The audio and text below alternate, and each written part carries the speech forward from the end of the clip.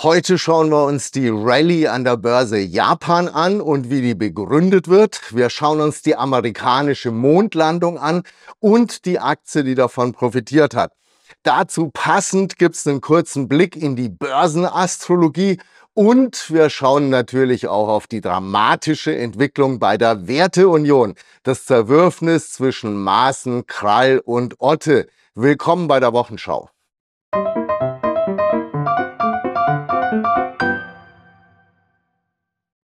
In Deutschland ist wieder Gründerzeit. Jetzt nicht in der Wirtschaft oder bei den Unternehmen, aber dafür in der Politik. Jede Woche gefühlt eine neue Partei.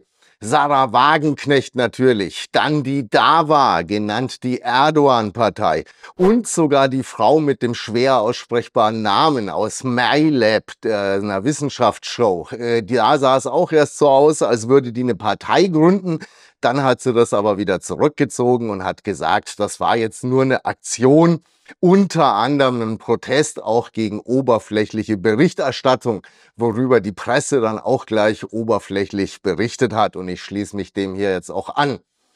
Aber jetzt eben auch die Werteunion. Werteunion sensationell. Hans-Georg Maaßen und im Gespann mit ihm Markus Krall und Max Otte. Deutschland hat jetzt natürlich ganz schnell ein linkes Gegengewicht gebraucht zu Sarah Wagenknecht, aber Scherz beiseite. Aus Börsianer Sicht, Krall und Otte, das wäre natürlich schon was gewesen. Das ist was ganz anderes als die ganzen anderen Nasen, weil das sind unsere Leute, die verstehen wir und die verstehen uns. Oder wann haben Sie Sarah Wagenknecht zum letzten Mal gehört, wie sie geredet hat über versteckte Risiken in Firmenbilanzen? Und was war das letzte Goldkursziel von Alexander Gauland? Da haben wir es doch. Und neue Parteien haben es ja sowieso immer ein bisschen schwer. Bei Sarah Wagenknecht, da wartet eigentlich ja schon jeder drauf, dass Oskar Lafontaine wieder austritt, weil das macht er eigentlich immer bei jeder Partei. Ist bis jetzt aber noch nicht passiert aber dafür eben bei der Werteunion. Kaum ist die Partei gegründet worden, da haben Markus Krall und Max Otte sie schon wieder verlassen, beziehungsweise rein technisch waren sie gar nie drin. Und warum Google hier zu der Meldung ein Bild von Gerhard Baum mit dazu steckt, das weiß auch keiner. Aber sehr wahrscheinlich ist es aus so einer Google-Zeitschleife und das ist eigentlich Hans-Georg Maaßen in 20 Jahren. Google ist da sehr wahrscheinlich schon viel weiter, als wir alle glauben.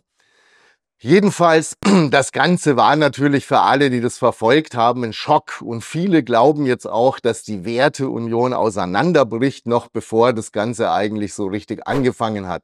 Das hier, das war letzte Woche die Gründung auf einem Schiff, auf einem Rhein und Krall und Otte, die waren da schon nicht dabei. Und viele fragen sich auch, ob das jetzt nicht doch der falsche Dampfer war. Was war das Problem bei dem Ganzen? Rivalität, persönliche oder inhaltliche Fragen?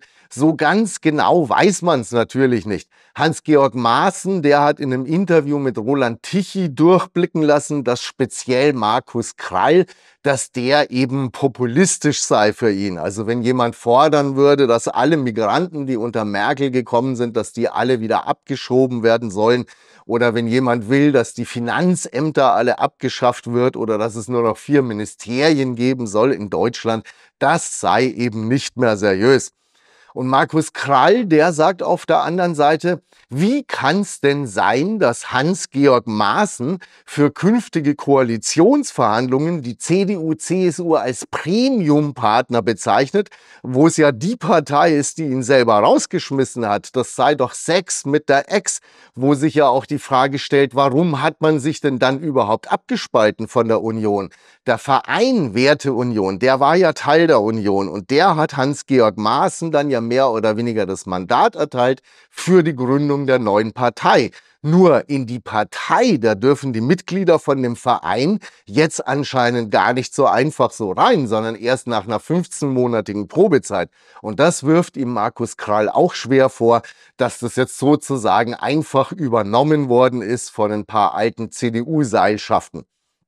Und jetzt, wo das so Wellen schlägt, da müssten eigentlich Max Otte und Markus Krall das Momentum nutzen und selber nochmal eine neue Partei gründen, so das Bündnis Krallotte oder sowas. Aber Auch so sagt einem das Ganze schon einiges, was da passiert. Nämlich erstens, rechts von der Mitte wird's langsam ziemlich eng in Deutschland, ein ziemliches Gedränge. Und zweitens, die etablierten Parteien, die sind in der Krise, völlig klar. Und die Linke ist auch in der Krise. Aber für mich stellt sich schon auch die Frage, was ist heute eigentlich konservativ?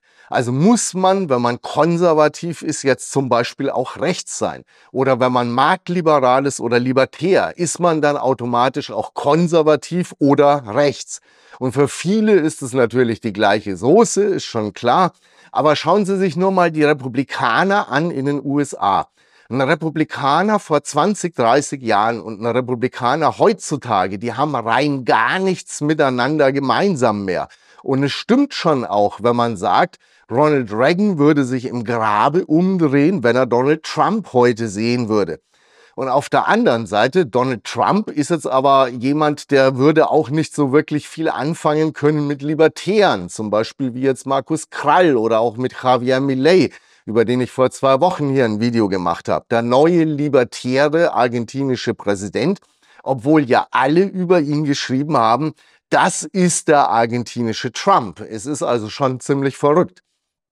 Und Hans-Georg Maaßen, der hat sich ja geweigert, dass äh, er politisch eingeordnet wird zwischen der CDU und der AfD, weil die beiden einen starken Staat haben wollen würden, den er aber nicht haben will. Und Markus Krall, der wäre da ja sogar noch viel radikaler in der Frage, der hat sich ja schon ausgesprochen für eine Staatsquote von 10 Prozent, also so hoch wie in Haiti oder in Äthiopien im Moment. Da muss der Staat seine Kernaufgaben schon ziemlich gut im Griff haben, damit es klappt. Meiner Meinung nach ist eben auch der Konservatismus was, das gerade ein bisschen absäuft bei uns in Hysterie und in Geschrei. Aber sind wir mal gespannt, wie sich das sortiert die nächsten Jahre. Und Markus Krall ist ja sowieso verrückt. Das sagt zumindest der Astrologe von Heinrich dem 13. Prinz Reuß. Ich weiß nicht, ob an der Geschichte irgendwas Wahres dran ist. Aber dass das mit der Werteunion, dass das definitiv nichts wird, das hätte hier, hier auf YouTube gleich jeder sehen können auf dem Kanal Astroanalyse. Eine Partei mit so einem Aszendenten, das sehen Sie hier ja, da ist sowieso schon alles klar. Politik ist einfach pures Gift, bleiben wir lieber bei der Astrologie. In China war Neujahr, wir sind da jetzt wieder im Jahr des Drachen und was gibt's immer am Jahresanfang da? Ganz genau, neue Börsenhoroskope. Da rücken dann die Feng Shui-Meister an bei den Großbanken. Und das bekannteste in der Richtung, das ist ja jedes Jahr der Feng Shui-Index von der Investmentbank CLSA. Schlägt man mit sowas den Markt? Natürlich schlägt man mit sowas den Markt. Sonst würde ja die chinesische Börsenaufsicht nicht die Banken immer wieder verwarnen, dass sie auf gar keinen Fall Feng Shui-Analysen veröffentlichen dürfen. Und ich habe zum Beispiel eine vorliegen von Maybank aus Kuala Lumpur. Da heißt es für dieses Jahr, kombiniert mit den fünf Elementen sind wir dieses Jahr im Holzdrachen. Das heißt, die Sektoren Erde, Metall und Feuer, das sind Outperformer. Und für alles mit Bezug auf Wasser, da kann es aber schwierig werden an der Börse. Und so wie jede richtige Wissenschaft ist das Ganze aber natürlich ziemlich kompliziert, weil gleichzeitig startet mit dem Drachen jetzt auch ein neuer 20-jähriger Zyklus.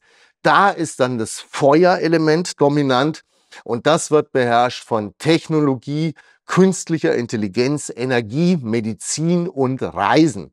Aber Vorsicht, im ersten Halbjahr wird es für die Sektoren nochmal schwierig und auch für den Gesamtmarkt. Und erst im zweiten Halbjahr geht es dann wieder los. Und hier haben wir auch den berühmten CLSA Feng Shui Index. Die sind da insgesamt ein bisschen optimistischer. Wir haben jetzt zwar gleich nochmal eine Korrektur, aber Ende März, Anfang April, da soll dann das Tief endgültig erreicht sein. Und im Rest vom Jahr, da wird es dann deutlich hochgehen wieder und nur noch mit kleinen Korrekturen zwischendrin. Zu wünschen wäre es ihm ja mal, dem chinesischen Aktienmarkt. Wir haben es schon oft hier davon gehabt. Hier nochmal der Hang Seng China Enterprises Index die letzten fünf Jahre.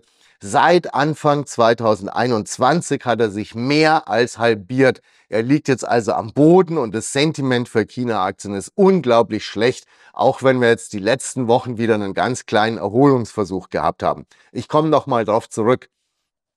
Aber es gibt einen anderen asiatischen Markt, der dreht gerade voll auf wieder und das ist Japan. Das hier ist jetzt mal ein richtig langer Chart, der Nikkei 225 seit 1988. Japan hat ja bis in die 80er Jahre rein einen riesen Boom gehabt, aber 1989 hat es dann eben auch einen riesen Crash gegeben. Und beide Dip wäre damals keine gute Strategie gewesen. Er ist nämlich 20 Jahre lang gefallen von 39.000 Punkten auf nur noch 7.000 Punkte. Und die Wirtschaft, die in Japan, die hat sich ja eigentlich bis heute nicht davon erholt. Aber die letzten Jahre, da ist er eben doch mit den anderen Märkten zusammen wieder hochgelaufen und seit Ende 2022, da hat er sogar noch mal einen richtigen Satz nach oben gemacht von 26.000 Punkte auf 40.000 Punkte und damit, trara, damit hat er jetzt auch sein altes Hoch wieder übertroffen. Wer 1989 gekauft hat, der ist jetzt wieder im Plus. Tolle Rallye. Was hat Japan zurzeit, was China nicht hat? Manche sagen, die japanischen Riesenkonzerne, die waren ja immer gut, aber sie waren einfach auch ziemlich unbeweglich. Und das hat sich aber geändert vor ein paar Jahren. Und das stimmt auch. Auch viele japanische Großunternehmen, die haben jetzt harte Umstrukturierungen gehabt und jetzt geht's bei denen aber wieder aufwärts. Dann der nächste Punkt. Japan profitiert vom Konflikt USA-China und dass in China keiner mehr großartig investieren will. Dass er faktisch jetzt davon profitiert, das glaube ich nicht so. Der Konflikt ist für Japan schon auch ganz schön unangenehm. Und was sie mit den einen, mit den USA jetzt vielleicht gewinnen, das können sie auf der anderen Seite mit China auch wieder verlieren. Und dass der Markt jetzt von den Umschichtungen profitiert hat, das glaube ich schon auch. Aber das ist natürlich auf Dauer jetzt kein richtiges Argument für eine Rallye. Und dann noch ein ganz wichtiger Punkt, der immer wieder betont hat, wird, äh, weil es Japan so schlecht geht gerade wirtschaftlich. Darum liegt ja der Leitzins immer noch bei minus 0,1 Prozent. Und darum ist natürlich auch der japanische Yen schwach. Und das heißt jetzt, das unterstützt aber die japanischen Exporte. Bestechend, kein Wunder, dass die Aktien durch die Decke gehen. Aber was ist da mit China? Da geht es der Wirtschaft ja jetzt auch nicht so wahnsinnig gut und da gehen die Zinsen auch runter. Hier der Zins auf einjährige Ausleihungen da, der ist auch nur noch bei 2,5 Prozent. Und darum fällt natürlich auch der chinesische Yuan zum Dollar und das auch nicht zu knapp. Aber die chinesischen Unternehmen, die profitieren davon anscheinend nicht. Wahrscheinlich liegt es ja am chinesischen Wachstum. Das ist bestimmt ganz schlecht. Und das war nämlich auch im vierten Quartal nur noch bei 5,2 Prozent und hat damit auch schwer enttäuscht. Aber hoppla, die japanische Wirtschaft, die ist um 0,4 Prozent geschrumpft.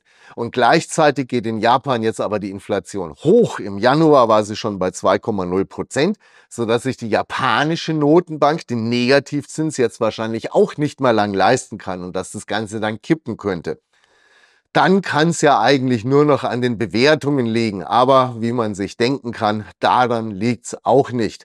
Weil nämlich der Nikkei, der ist bewertet mit dem Durchschnitts-KGV inzwischen schon von 22. Aber beim Hang Seng China Enterprises Index, da liegt er nur noch bei 8 oder sogar leicht unter 8.